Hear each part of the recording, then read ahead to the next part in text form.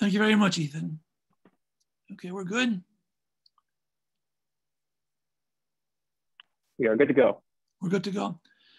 Uh, good afternoon, good evening to everybody. Thank you, Ethan, for having uh, organized this program.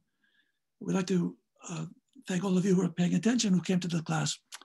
I'll start with uh, personal things, then we'll go to our more formal things. I grew up in Seattle, Washington, among Jews from Turkey and the island of Rhodes. My grandmother, Romy, my mother's mother, came to Seattle from Marmara, island of Marmara, she was functionally illiterate her entire life. Um, she couldn't read, she couldn't write, she didn't know English very well. She spoke Ladino her whole life. But she was brilliant and she was powerful. And she raised a family of seven children, had many grandchildren, and was a matriarch of our family, a person who was highly respected and very lovable and very beloved. My mother was the second of her children, but she was only a girl. In those days, if you were only a girl, you didn't need much education. You went to school as long as you were required, which to age 16, and then you got a job and helped support the family, and then you got married and had your own family. And my mother at age 16 had to quit school. Her teacher came to my grandfather, Romy, and said, Mr. Romy, your daughter is brilliant. She's a wonderful student. Let her finish high school she could go to college. My grandfather, of blessed memory, was a wonderful, wonderful man, came from Turkey, from a city called Tekirdağ. And he said, Look, I have seven kids, and I'm a barber. I don't make very much money.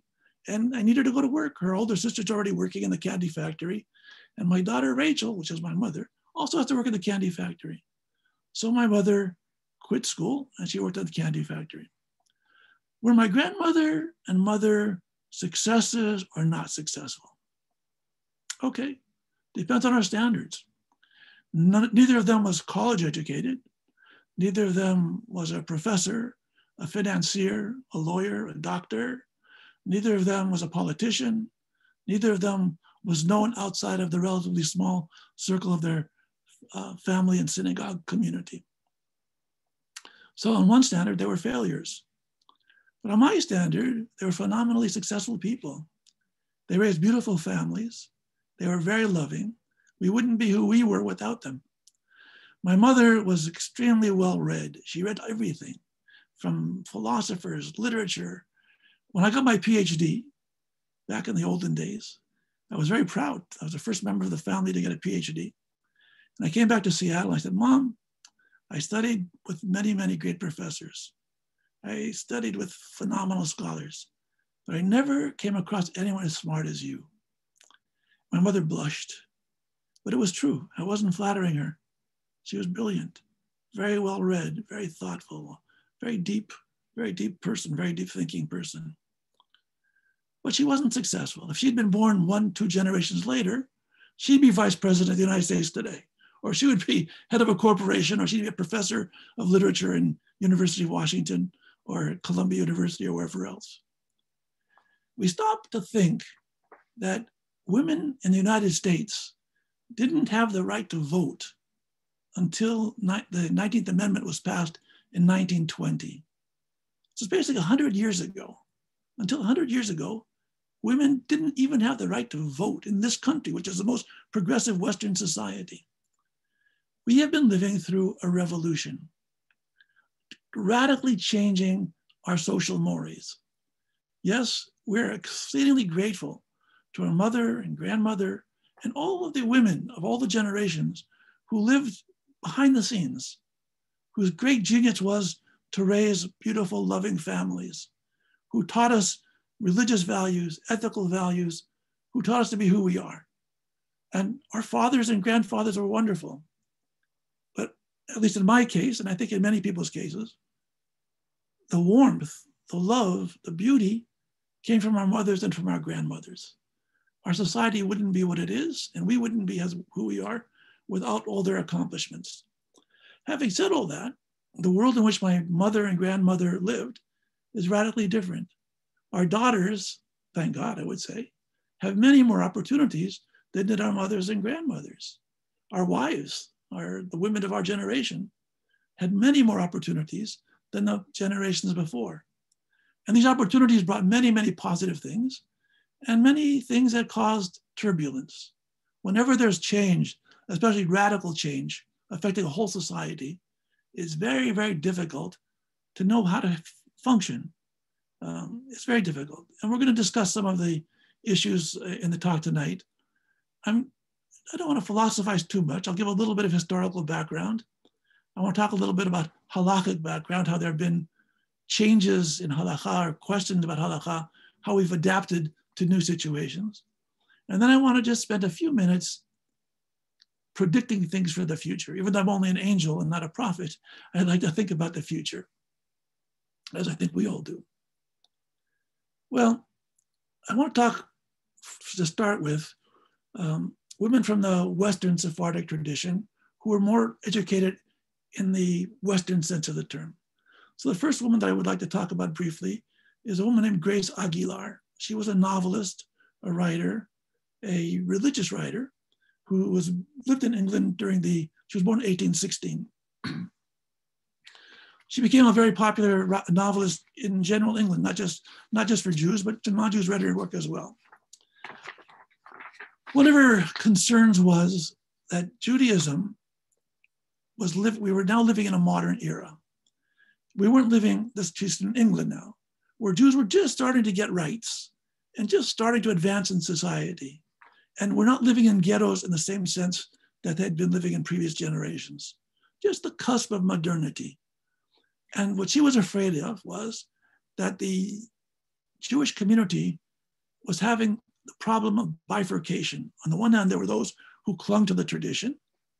And on the other hand, there were people who broke away from Judaism altogether or who stopped being very observant. And one of her concerns was that especially girls were not receiving adequate Jewish education. So in her books, she stressed the Bible, she stressed following the, the rituals, but she stressed education for girls. She said, if we want the Jewish community to flourish, it's going to be imperative that our girls are no longer simply considered as an afterthought. They can't just be taught at home and taught the laws of kashrut and Shabbat and whatever it is, because guess what? Our girls also have brains. They can think, they can learn, and they have to have opportunities. If the non-Jewish girls are starting to go to schools and get, get higher education, we can't have Jewish girls fall behind. Moreover, those Jews who do go to more general education, higher education, they tend to drift away from Judaism. Why? Because they're not given enough intellectual foundations to remain Jewish, solidly Jewish. So this was her writing, and it had a very big impact. But of course, the forces against her were also very great. In the early 20th century in the United States, we had several other very impressive women of Sephardic background who, who were members of Congregation Shearith Israel, the Spanish and Portuguese synagogue in New York, where I was rabbi. I started there in 1969 as student rabbi. I'm old and gray now. When I started, I was a 24 year old rabbi or student rabbi. It's an amazing congregation. It was an amazing congregation. And I am grateful to God that I was able to spend so many years there. Anyway, during the early 20th century, my grandparents, many Sephardic grandparents, were coming to the United States from Turkey, from Syria, from Greece. Some spoke Ladino, some spoke Arabic, some spoke Greek. Mixture of people, mixture of languages. They came here, most of them without much formal education, without much money, but with a dream. They came to America because they wanted to succeed, because they heard that America is a land of opportunity. So my grandparents' generation and that immigrant generation of the early 1900s, they came here with the old country with them. You don't just leave a culture behind, you bring much of it with you. And you have to adapt. So my grandparents, as I told you, my grandmother only spoke Ladino her whole life. She could never speak English properly. My grandfather, who could speak English and became an American citizen, spoke with a very thick accent and mostly Spanish. He didn't, my parents, both of them were born in Seattle, they didn't learn English until they went to public school. They grew up in a home that was uh, Judeo-Spanish speaking. My parents, I say it as a joke, but it's not a joke. I grew up in Seattle. I knew it was a Jewish neighborhood because everyone in the neighborhood spoke Spanish. That was the way it was. All the old timers in that generation, if you walk down the street, the, the language they spoke was, was Ladino, Judeo-Spanish. They brought the old country with them. And the old country was women are still to stay home, to get married, to have kids, to be good cooks, to, to sing the old folk songs, and to be a wonderful source of warmth and beauty.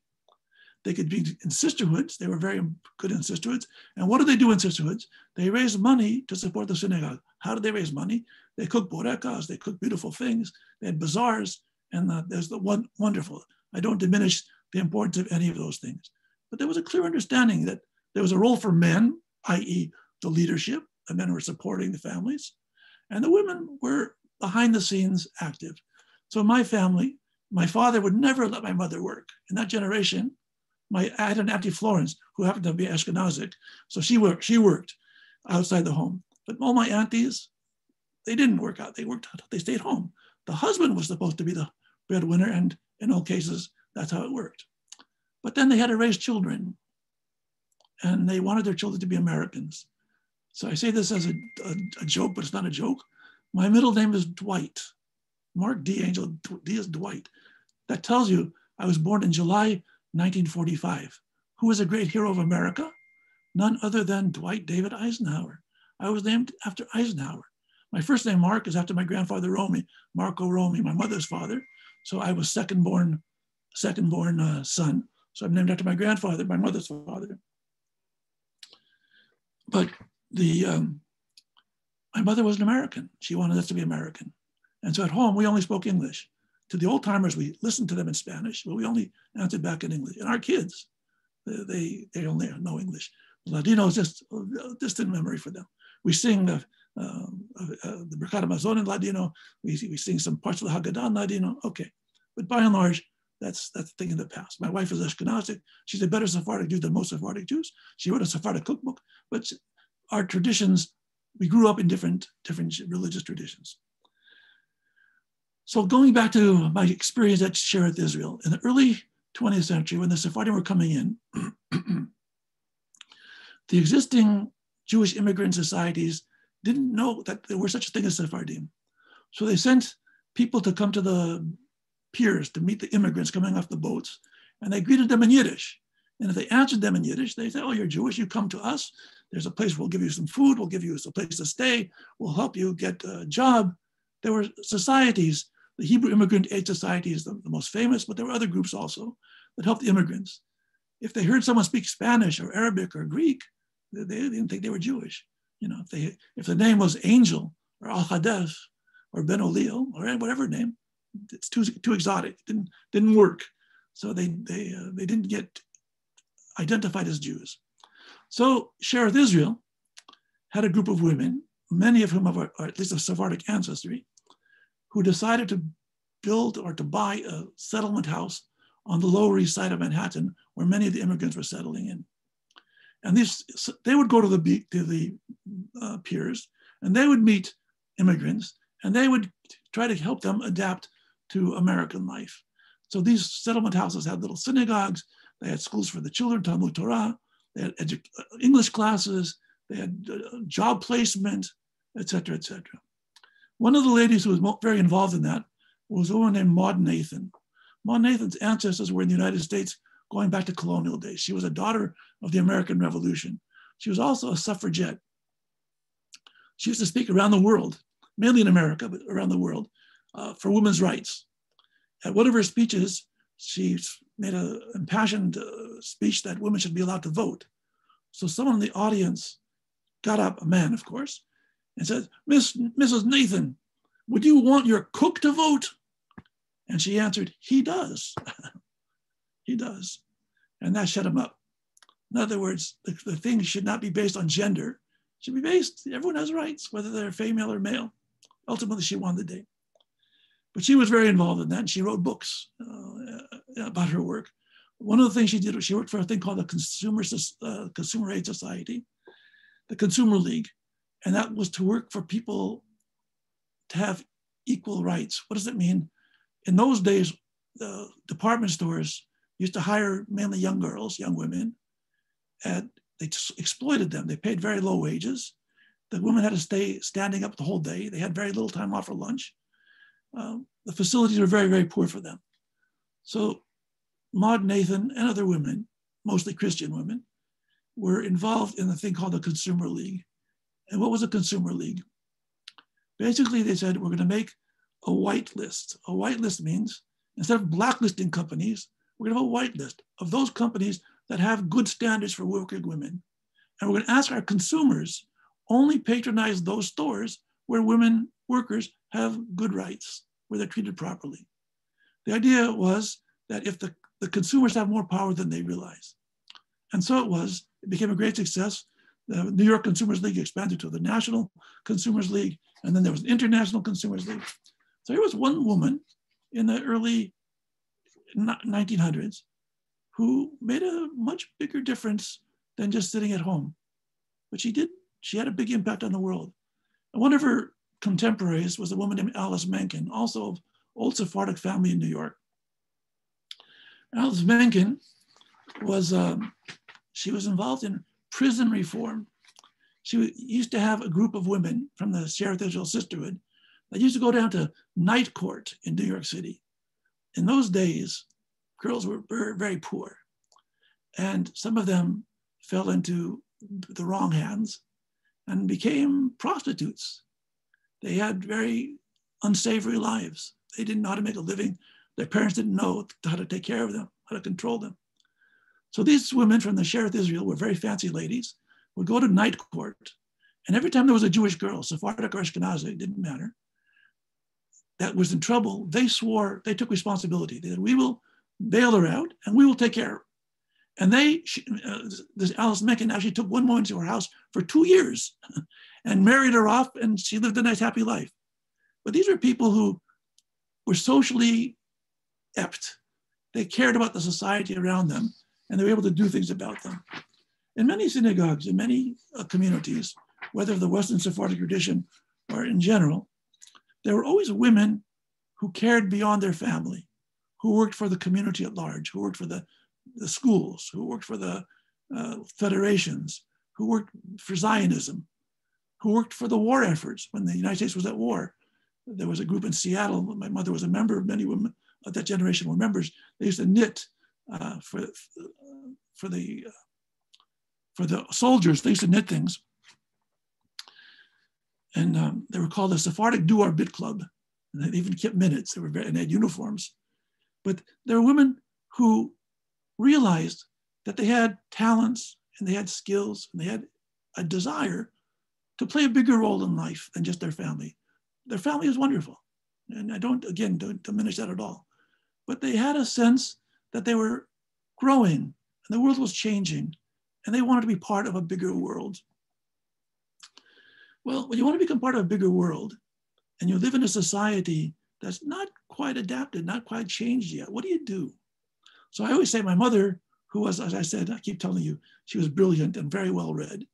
But, and, and among her peers, there were also Sephardic men and women who were very well autodidacts. They read a lot, they thought a lot.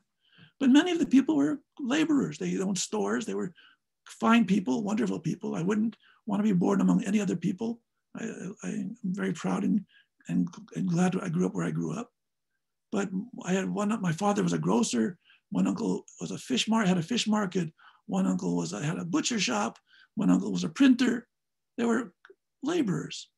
They, they were not philosophers. These were not uh, uh, people with academic degrees. They were good, solid, salt of the earth, hardworking men. But they didn't, doesn't mean they didn't think. It didn't mean that they didn't have aspirations. But the world was still the way it was. There was still part of the old world tugging at them. They didn't know how to deal exactly with changing in America. The changes in America weren't only here, they were all over the world. Women all over the world, Jewish women, including very religious women, were starting to realize that there is a fundamental change in, in society at large. We can no longer play the game the way it was played for the last hundreds of years there are opportunities that are now opening up, and we want to share in them. It doesn't mean we're throwing away the old system, but it means we have rights, we are people, and we're not just chattel. And we don't just tag along with our husbands. We have an identity of our own. In early 20th century in Israel, which was before the state of Israel, they used to have moshavim, little little uh, settlements, and there were questions whether in that, those settlements women had the right to vote and whether they had the right to be elected to be leaders of those settlements. So the Ashkenazic rabbis in general, led by Rabbi Abraham Isaac Kook, for example, was very much against it. That women belong at home. It's not nice, it's not moral for women to go to polling places and stand in line with men. It's conducive to immorality, frivolity. Men and women mingling together is not, it's not kosher, not a good idea. Women should stay home where they belong, and the decision should be made by the man. Moreover, said Rav Kook, there should be one vote per family, because if you have the man who's a Democrat and the woman is a Republican, this is in Israel, they had different parties, they'll fight with each other, they'll end up getting divorced. This was Rabbi Kook's thinking. And the majority of the Ashkenazic establishment followed that suit. But there was a young Sephardic rabbi at that time, Rabbi Ben Zion Uziel, who had a different view. And his argument was based not on sociology, not on history, but on a simple ethical issue. He said, I have a practical question. If people are living in a community and the community has rules, including taxation. They could tax us. They make rules that we can do and can't do. Is it fair for a community to have rules where we have no voice in it at all? Is it ethical to expect us to pay taxes, follow rules when we had no input at all, nothing to say about it? We're simply like considered like pet dogs. As Rabbi Uziel said, it's not ethical. It's not ethical. Women have rights equal to men. Why? Women are subject to the same laws, the same rules. It's not, it would not be unethical to deprive women of the right to vote. Ah, we have a long tradition of women not voting. It was, as I said before, in the United States, which was a highly modern Western society, women couldn't vote till 1920. So it, it's, it's a relatively new, new thing. But in Rabbi Uziel's day, which was also early 20th century, it wasn't common to people, for people to think that women have a right to vote. Rabbi Uziel had a different insight. The insight isn't a sociological uh, discussion, it's an ethical discussion. Ah, we have a historical tradition. If you look at all the halachic literature, the rabbinic literature going back for centuries, no one says women can vote. And Rabbi Uziel said, yes, you know why? Because it never was, they never thought about it. It really wasn't relevant to them. They lived in a society, in a setting that didn't call for women to vote. Women themselves didn't weren't aware of it. But are we don't live in that society anymore? There is a change. There's a sociological, psychological, philosophical change, and we have to adapt to that change. Ah, there's a there are halachic sources that say women should not be in uh, control of men. Women shouldn't have the same rights as men. He says, you know what?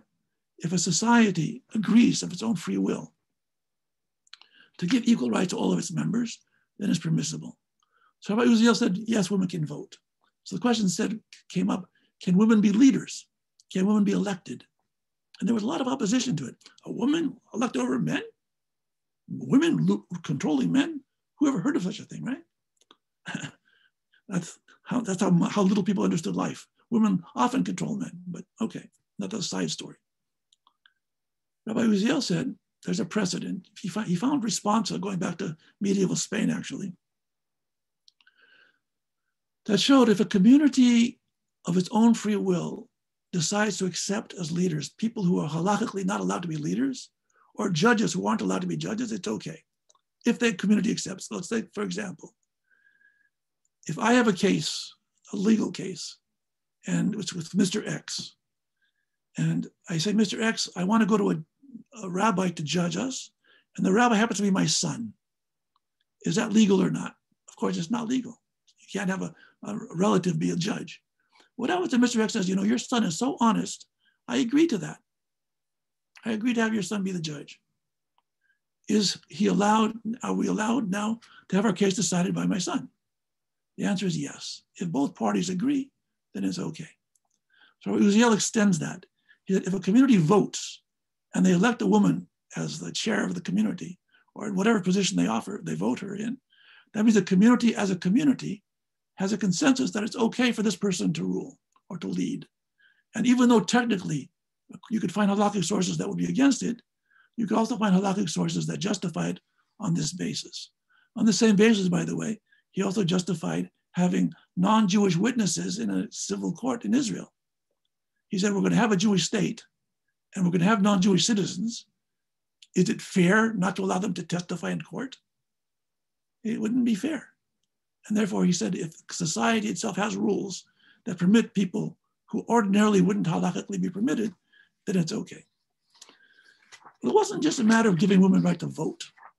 Sometimes people changed not because they thought about it and they needed to vote, but there were so, so, certain sociological changes. So this also showed itself up in the way people dressed. So we know that our mothers and grandmothers always dressed very modestly. It's correct. They should dress modestly. Beautiful, wonderful. But we also know that historically, one of the traits of Jewish modesty was for married women to have their head covered. They wore hats, or bonnets, or scarves. In the Ashkenazic world, they wore wigs, which is another question. But the, it was common, and still is common among in much Orthodox world, for women to cover their hair. A question came to Rabbi Yosef Messas, who was born in Morocco, became the chief rabbi in Haifa, a very progressive rabbi. He was an old rabbi with a big, long white beard, very learned, but he, he had a strong progressive streak. And the question came to him as follows: Is Rabbi we don't understand it. How come the wife, the wives of the religious functionaries in Morocco don't cover their hair? They didn't. They, they, the question itself presupposes that the women already weren't covering their hair. And this was in Muslim societies. They were already getting modernized. They were already getting French, Frenchified by the influence of France. People with Alliance schools, they became more, more they liked Western fashions. Women started wearing low cut, lower cut dresses, which is nice. But the question of the hair covering, Rabbi Messas said, yes, traditionally women were supposed to cover their hair. And why? Because in those days, in those societies, that was a sign of a modest woman. And if a woman walked in the public, a married woman walked in public with her hair uncovered, that was very immodest, and people would think very bad thoughts about her. And it was a sign that she discarded laws of morality. But we don't live at that time anymore. Fashions have changed. Most women, he's talking about in his society, and certainly more, even more so in Western society, most women don't cover their hair. Non-Jewish women don't cover their hair. So we're telling married women, married Jewish women have to walk with scarves on their hair. But the men are walking the street, they see all kinds of beautiful non-Jewish women walking with their hair uncovered. So he says, how is that, how is that virtuous? Or why should Jewish women be penalized because they're Jewish? They should also be allowed to keep their hair uncovered. It's a custom, sociological custom rather than a halakha. Many rabbis disagreed with him. Many rabbis today disagree with him. Rabbi Uziel disagreed with him. But I don't disagree with him. I think it makes a lot of sense. In other words, the goal of Jewish modesty is to be modest, to be polite, to be proper, not to be uh, sexually uh, promiscuous. In our society, walking with your hair uncovered is not promiscuous at all. All the women do that, walk that way. And to have to cover your hair, if you want to, no one says you shouldn't. You're welcome to. But if you don't want to, if you want to follow the current style, you can follow the current style according to Rabbi Messas, and I happen to agree with him. I'll quote Rabbi Messas, I'm quoting English translation. Since in our time, all the women of the world have voided the previous practice and have returned to the simple practice of uncovering their hair, there is nothing in this that constitutes brazenness or lack of modesty. Therefore, the prohibition of covering one's hair has been lifted. Well, there are other laws that are, if you look at the at the Shulchan Aruch, at the Rambam, there are other laws that got that were made in order to guard mo- modesty. And what happens today is that many of them, many of these laws really are not kept even in the most observant uh, schools. So, for example, there's one law that says a single woman is not allowed to teach in a, in a Jewish school, or a single man is not allowed to teach. Why? Because after school, the parents come to pick up their kids. And if there's a single woman and the father's picking up his kids, uh oh, he's a, a Jewish girl teacher, he'll fall in love with her. Or vice versa, there's a single man teaching, he'll love with the mothers of the children. So that was against the rules. How many schools today follow that rule? Even in the Haredi world, they, they train girls to be teachers. And there's, there's single, a lot of single girls teaching and a lot of single men teaching until they get married. There are various laws which I don't say get, get voided. We don't throw the laws out, but there's just uh, an evolution. I don't, I don't call it revolution, it's evolution. Things gradually change, even in, in um, very traditional societies. And when women assert themselves and say, we want to follow, not to, not to be immodest, God forbid, but we want to follow the proper fashions of the day without immodesty. They should be allowed to do that. Another question that comes up often is called kol isha. There's a rule that men are not allowed to listen to women singing. Now, I know from personal experience that many religious, pious men listen to their women singing Ladino songs. I grew up, oh, the women, my mother, grandmother, they always sang. No one ever said, keep quiet, you're not allowed to sing. It was, it was normal. I remember going to a conference with Chacham Gaon, may rest in peace, Chacham Solomon Gaon. And at that conference, um, there was a woman singing Ladino songs. She sang beautifully. And the Chacham got up and praised her to the sky. That was the most beautiful rendition. And what are these songs? They're love songs. They're beautiful love songs. And Chacham Gaon who was a man of great piety, didn't have any problem at all. Why? It was natural. It was normal. One thing we had in the Sephardic world, not all the Sephardic world, but in some of the Sephardic world, I call a naturalness, a comfortable, a comfort level with life. And we don't get hung up about everything. Some things are right and some things are wrong. That's correct. We have to, there are laws, there are rules. But there are other, I call it more gray area, where a society has its own sociological way of evolving and where these things don't become so, so um, problematic. Now, in our, let me talk about the modern time right now. What's happening in the Sephardic world? I'll use an Ashkenazic term, oi, oi vey. A lot of good things, a lot of good things, but a lot of problematic things. On one level, many Sephardim who become religious or who are religious go to an extreme. They follow a very Haredi point of view. The men wear black hats. They look like Ashkenazic rabbis or Ashkenazic. They go to Ashkenazic yeshivot.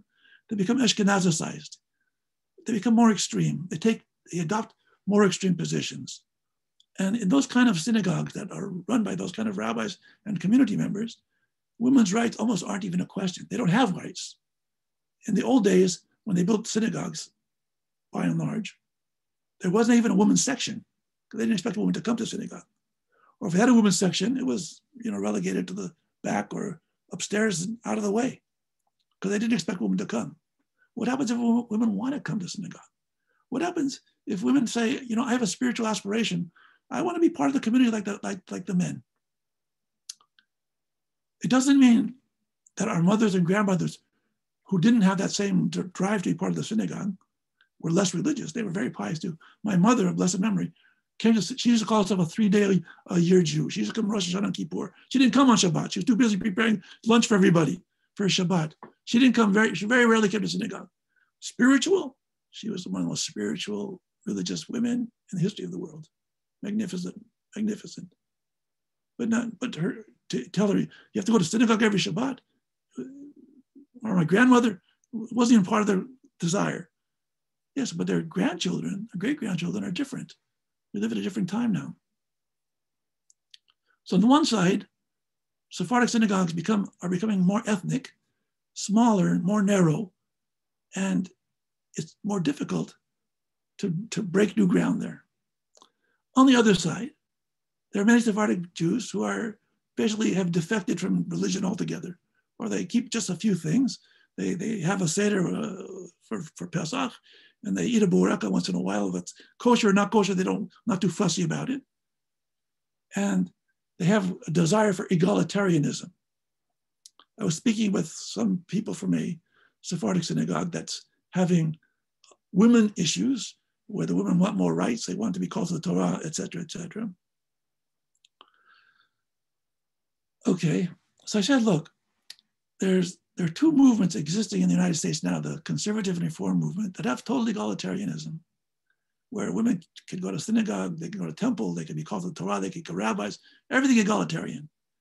And if you look at the statistics, I think less than 6%, 7% of reform Jews claim to go to synagogue or temple once a week or more.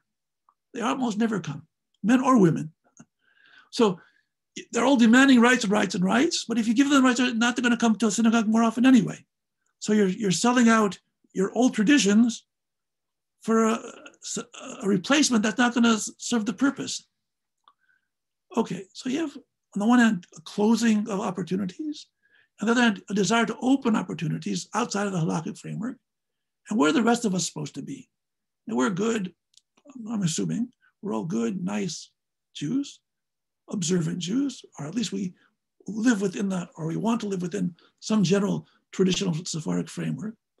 How do we balance these completing things? If we go to one extreme, we put women back two generations. If we go this way, we sell out our future generations. There's a, there have been all kinds of studies that they, they uh, you can check on the on the Google. There's a there's a website I think will your children be Jewish in 100 years from now? And if, you if you identify now as Reform, in 100 years, there'll be four, four people left that'll be Jews. If you identify as Haredi or ultra Orthodox, 100 years from now, there'll be 3,500 Jews. These are all extrapolated from the statistics. In other words, if you give away so much of the tradition, eventually it just fizzles away and people stop being religious at all. They stop being Jewish at all. If you keep too much of it, you might be multiplying and multiplying and multiplying, but many Jews are not comfortable in that setting. So here's what I think. I'm not going to give a, a final answer. We could, if you have questions, we might be able to discuss it. There have to be ways within a traditional framework where men and women can sit in the same room and say, what is the future of our synagogue? what do we want our granddaughters, our daughters and granddaughters, to feel like when they come to synagogue? How can we make our synagogues, without compromising halakha, how can we make them more meaningful, spiritually attractive to our young men and our young girls, our young men and young women?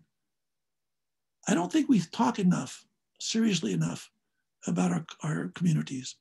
We let it, the rabbi decides, the, president of the shul decides, president of the synagogue decides, a few of the big shots decide. It's not going to be decided that way.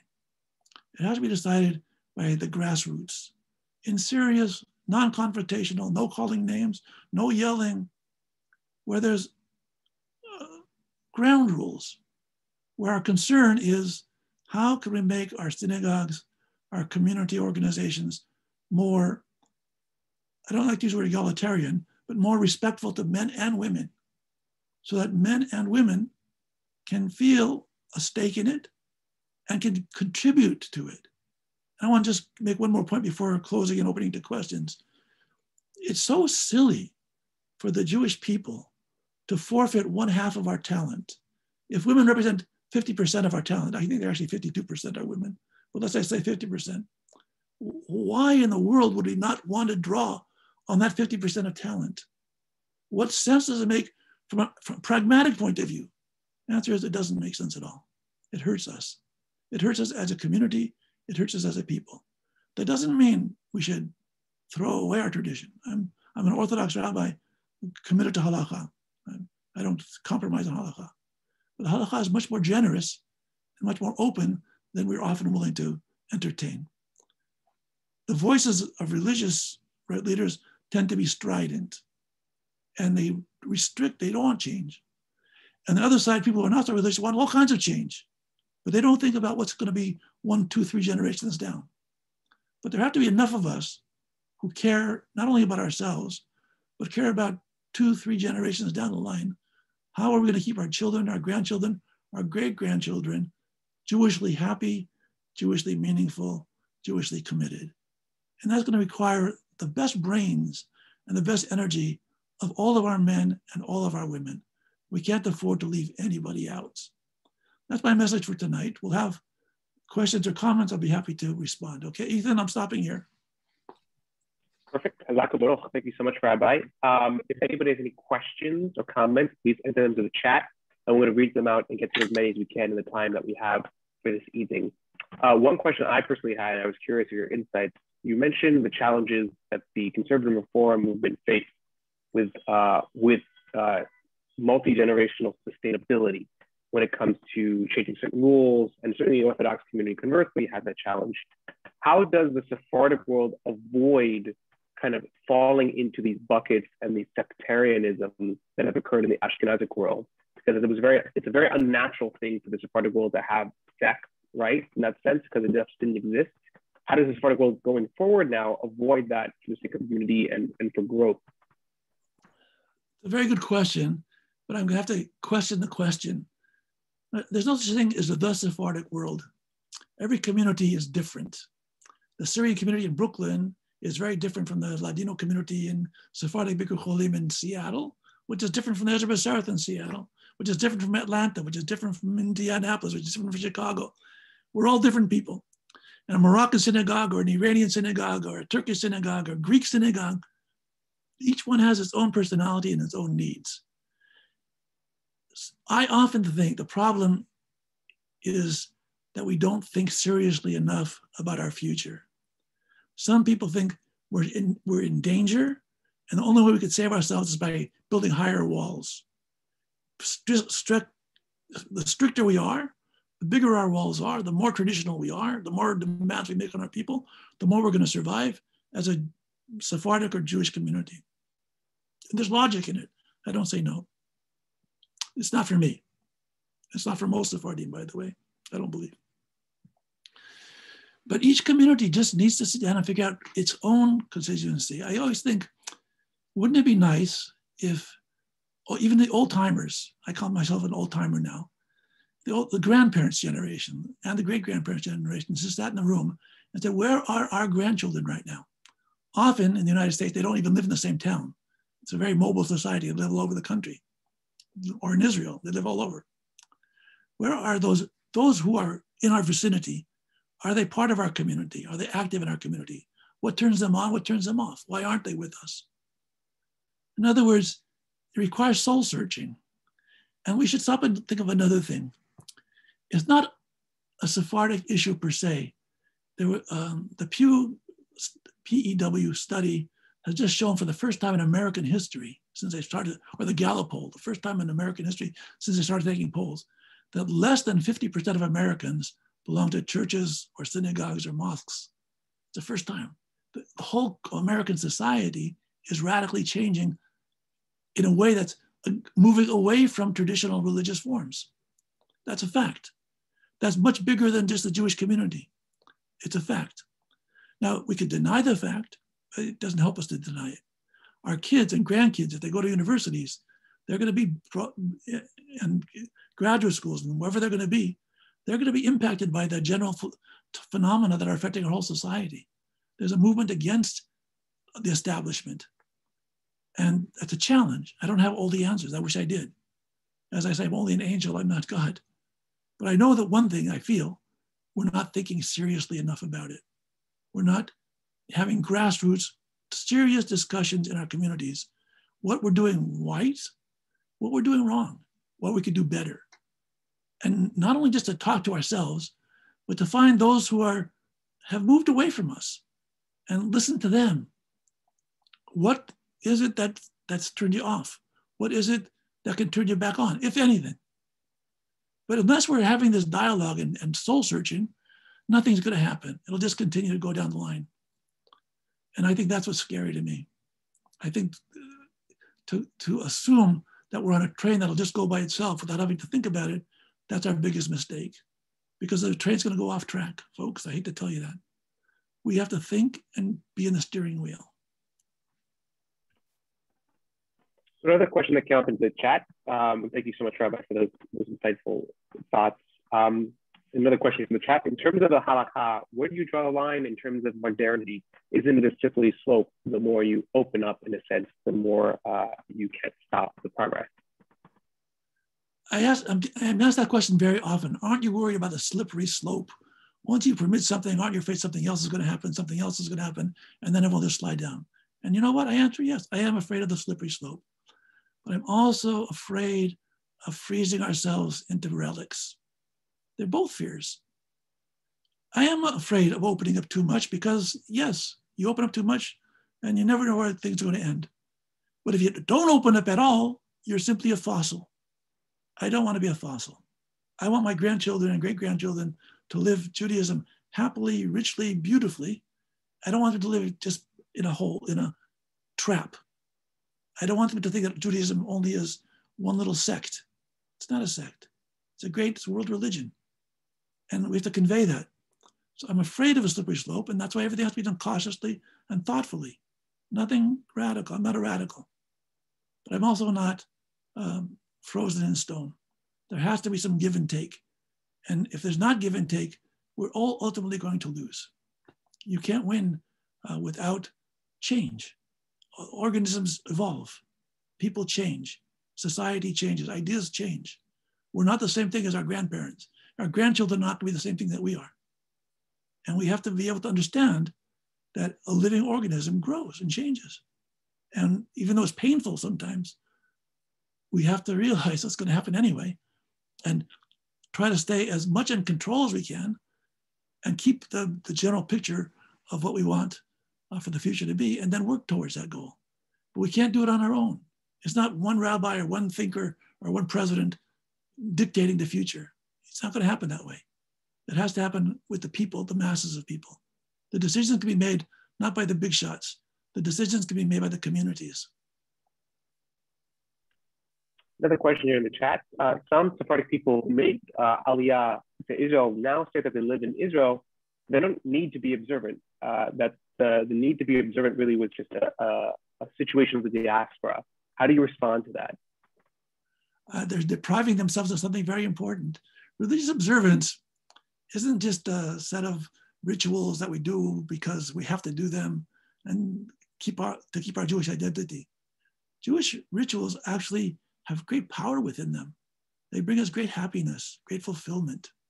And if you don't have that, the ritual sense, you also lose out a whole lot. So yes, living in Israel is wonderful. And you could live in Israel and you speak Hebrew and you, you have a mezuzah on your door and the, the societies has the general Jewish tone to it. If it's just a matter of identity, yes, but we're not just identity. We're also spiritual beings. We also have souls. It's not just a question of identity. And what people often don't realize is that our religion, the, the Torah and the Mitzvot, aren't just a, a, bunch of random laws to, to keep us in line.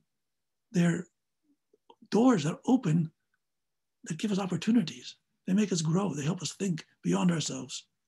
So anyone who thinks that religious ritual is just for identity, they, they don't understand religious ritual. Sorry. Another question in the chat. What, in your opinion, do you think is the ideal case for um, for a balanced observance to allow women more prominence or more of a role in synagogue life? As I said before, I think each community is a little bit different. Uh, the, the Syrian synagogue in Brooklyn is going to come to a different set of answers than the Turkish synagogue in Seattle or than the Greek synagogue downtown on, on the, uh, Broome Street. Every community is going to have a different way of coping and dealing. My argument is that unless people who are intensely interested in the future of Sephardic life or Jewish life sit down and talk together, they're not going to come to any compromise or any change. And the change can't just come from above. It has to come from below or come t- together. So for example, let's say I'm a rabbi, some theoretical synagogue in the middle of nowhere. I'm not going to say any synagogue. My first task, if I were the rabbi, and if I were 40 years younger, I would call uh, 20, 25 people that were the spark plugs, men and women, younger and older, who have a, a very strong feeling for the synagogue and for the community. And I would have a two day seminar. And we're going to sit from morning till night. And we're going to talk. And we're going to think this is our issue. Where, where are our kids? Where are our grandkids? What are we doing that we feel fairly good about as our strengths? And where are our weaknesses? Where are we really reaching out? And where are we not reaching out? I, I know for a fact from experience, I was a rabbi for 50 years, for more than 50 years. And, and I have a wonderful synagogue, magnificent synagogue. But I can tell you without any hesitation that many people who came to synagogue, they never once thought about God. It wasn't really part of the, you come, it's nice, you, you meet your friends, there's some nice music, you have a nice kiddush afterwards, but it wasn't necessarily a religious experience. Some people come to synagogue, it's a social, social experience. It's nice, which I'm not diminishing that. That's very important also. But ultimately, we have to realize we have souls. There's a religious aspiration in us. We're not just material, we're also spirit. And we often don't realize how to reach that spirit. I, I, I was at a synagogue, I'm not going to say what synagogue, not in New York, someplace else.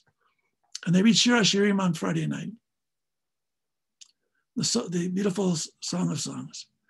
And after they read it, or before, I don't recall, they read a certain thing from the Kabbalah about the trans, transmigration of our souls.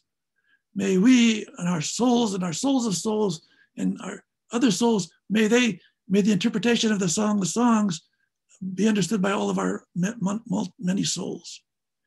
I'm sitting there, I said, my God, I don't believe in this. I don't think too many people in this day and age believe in this. And yet you have some pious old men saying these prayers, which are not only meaningless to, to many people, but turn us off entirely. How could I go to a synagogue and pray where these people believe that they're transmigrated souls? How, how could I even sit in the same room with these people? Why would I want to have anything to do with them? If we don't analyze what we're saying in our prayers, and if we don't realize how these prayers are supposed to impact on our souls, we're on the wrong track. We're not taking ourselves seriously. okay. It's up to each congregation, each community to pull its own self together and not to worry about what everyone else is doing. We're not competition with anybody else. We're in competition with ourselves and we're not answerable to anybody else. We're answerable to the Almighty. And more importantly, we're answerable to our great grandchildren who are yet to come. We want to leave them something that's worthwhile. And to do that requires thoughtfulness. Are you concerned at all about uh, the loss of momentum for those who would normally attend services uh, due to things like COVID restrictions, and particularly among uh, women in general who have kind of been even more restricted uh, because of COVID restrictions into attending synagogues and virtual programs, or been liberated in some sense for allowing to attend virtual programs instead of the synagogue itself? You know what? the COVID has had some very positive things, such as these Zoom classes. We've all learned how to use Zoom. But I wonder, I'm glad I'm not a rabbi of synagogue anymore. It's going to be very difficult to pull a synagogue back together again after this COVID thing. I think many congregations have lost income, they've lost membership. How are they going to get people back? I don't know. But I do know anecdotally, there, I'll tell you some examples from women and from men. There was a woman, a friend of ours, so a member of a synagogue, not in not in Manhattan, uh, outside of New York City. They've been members for 50 years, and they were in synagogue every single Shabbat. She's a widow now, and for the first three, four, five months of COVID, she couldn't go to synagogue. She still can't, right? And she didn't get even a call from the rabbi. How are you? Are you, are you, can we help you? Can we stay in touch? Didn't even get a call from the rabbi. So she gave the rabbi hell. She said, We've been members of the synagogue all these years, and, and now you don't even give a call to see how we are. I'm a widow and left alone. I'm all alone for Shabbat, all these, and, and you don't even have a, decency to call. I know of people who had had to go to hospitals and surgery, and the rabbi or community leaders don't even call to say hello. How are you doing? Don't even send an email, nothing. When synagogues don't feel love, don't feel a connection with the people, people are not dumb. People, it reciprocates. If you don't love me, it's gonna be hard for me to love you. And if you abandon me when I need you, it's hard for me to forget that. And therefore, I think synagogues are going to have a heck of a time. In, in New York, I get I get a lot of emails from different synagogues, and there's some synagogues are I think just terrible, terrible, and some the rabbis are outstanding. They're, they're with the people. They here's where you get your vaccine shot. Here's where you if you're if you need food, we'll send you some food. If you're alone for Shabbat, we'll we'll, we'll provide for you. They they're they care. They're there's alive. So even after COVID, people are going to come back to that synagogue. But for people who are part of a congregation that doesn't care if they're alive or dead, they're not going to come back, or they were not going to come back as lovingly or happily, and they're not going to be as generous. It's, I, I worry, I worry about the future of synagogues. I'm afraid we're going to have to leave it at there, but I want to thank Rabbi Angel so much for this wonderful first talk in our four-part series on contemporary Jewish issues from the Sephardic perspective. Please make sure to join us back next week, inshallah, the Keda al Deal for part two. And we'll be also posting this on uh, the Institute for Jewish Ideas and Ideals YouTube page, as well as on our Sephardic Language Facebook page, to make sure in case you missed any parts and want to share with your friends, to make sure you can check it back online. And it'll be the same link as well for next week. Next week, we'll be talking about, um, I believe, the issues of conversion and intermarriage, right, Rabbi? That's right. Excellent. And it'll be a fascinating discussion, which I, I got, inshallah, will be uh, with you all again next week. So, Rabbi, as always, thank you very much. So much. Good evening, everybody. Thank you all so much.